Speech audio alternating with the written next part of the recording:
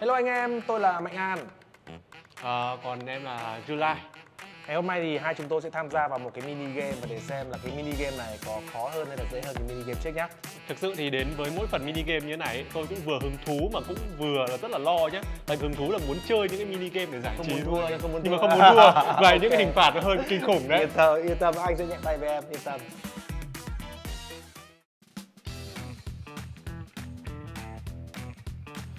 Dễ nha. Vẽ phải căng căng, nét nét lên tí đấy, không mày vẽ xấu tao không đoán được đấy.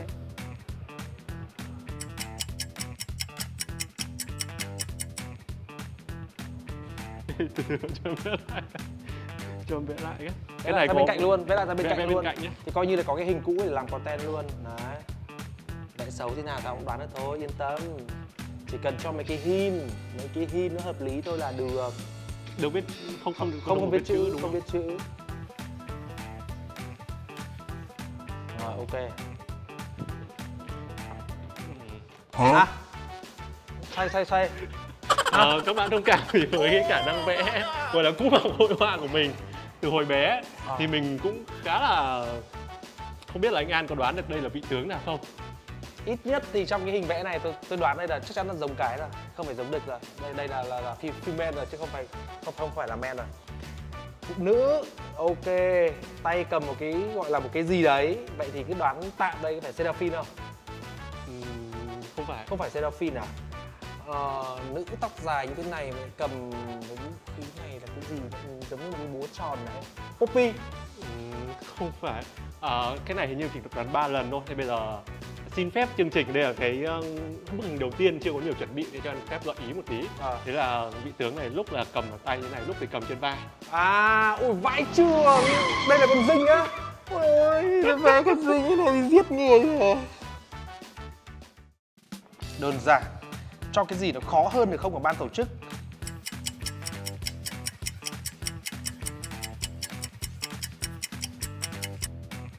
Rồi, ok. Cơ bản thôi Lại bảo không biết Lại bảo không biết đi Ờ. Edit. Yeah dễ hiểu, dễ hiểu. cơ bản không dễ chơi dễ trúng thưởng nhẹ filter thế thôi Công nhận trình độ vẽ của anh An nó vừa nhanh nó vừa chuẩn. nó hơi giống con cháy một tí nhưng mà không sao vẫn hiểu là con nhện là được rồi ạ và ok. Cái này chắc là không biết anh An vẽ đẹp hay là do mình đẩy số nhanh. cả hai là cả hai đấy các bạn ạ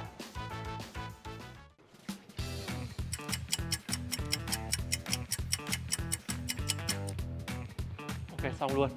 rồi. Hả hả ồ Ờ, đây là hai cái lưỡi hái. Ờ hai cái lưỡi hái. Akali à? Akali. đây các em phải công nhận là cho anh Trang Mạnh An một tràng vào tay em Ok, vẽ như này cũng ok, nhận ok, ra là con Akali được. Đỉnh thật. bình thường ấy nếu mà một cái lưỡi hái thì còn đoán ra nhầm là kên củng cái thứ và là ca thớt ca thủng. Nhưng mà thôi hai cái lưỡi hái chắc là chỉ có một mình akali. Thực ra thì đây không phải là lưỡi hái gì à nó là cái kunai cái kiểu mấy cái liềm liềm nữa. Là liềm. chiến. Ok ok. Good good good nice try nice try. Wow khó lòi khó điên. Ok ok. À,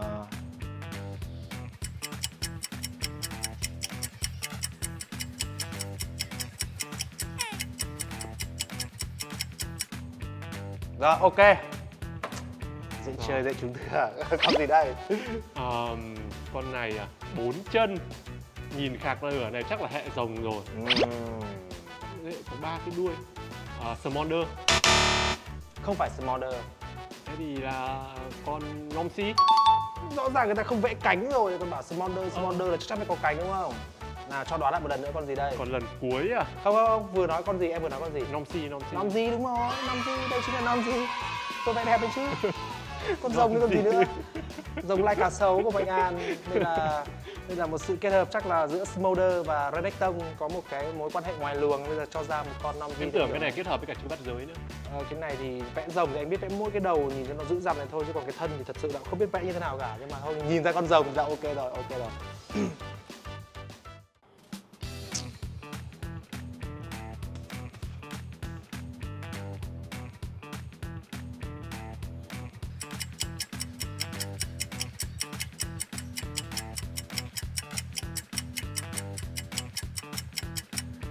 ok chưa ok chưa? Ok.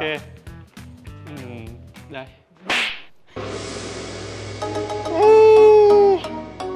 Anh để ý đến Rồi, ờ, ok ok. Sừng sừng. Đầu tiên là phải nhìn cái sừng và một cái bông tuyết ở bên này. Rồi biết luôn. Olaf. Chính Rồi. xác. Dễ hiểu chưa? Không cần đẹp vẫn dễ hiểu.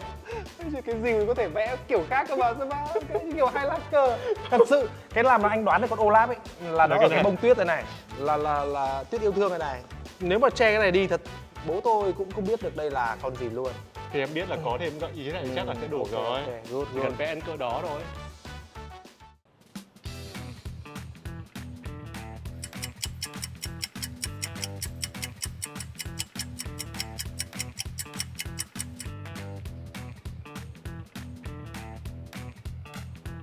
Rồi ok. rồi bạn bảo nào. không biết lại bảo không biết con này là con gì. Ai chà chà đây là một con người cầm giáo. Ừ, lại cầm giáo biết. phi phi à? Ờ, mùa này có con gì cầm giáo phi phi ta? Ừ, khó nói. Cái gì nhở? Cầm giáo phi Kalista Kalista và đó chính là Kalista vẽ như thế này còn không giống Kalista sao đúng ra là phải cái quần áo của nó phải hơi tua rua một tí nhưng mà thôi cơ bản là thôi bởi vì Thôi chắc là một cái giáo là đủ một rồi. cái giáo là quá đủ quá đủ rồi Rồi và vừa rồi là một trong những cái phần mini game hiếm hoi mà cả hai bọn tôi đều hoàn thành và không có hình phạt. Và có lẽ là với cái trình độ vẽ của anh em mình khéo đi không đi làm họa sĩ hơi phí anh An nhỉ? nên là như vậy. Nhưng các bạn đừng quên rằng là hãy theo dõi những thông tin liên quan đến giải đấu đấu trường chân lý ở Việt Nam thông qua động nhân phẩm ở trên TikTok hay là fanpage của đấu trường chân lý. Và các bạn hãy theo dõi giải đấu ở trên YouTube kênh YouTube của đấu trường chân lý nhé các bạn nhé. Cảm ơn và hẹn gặp lại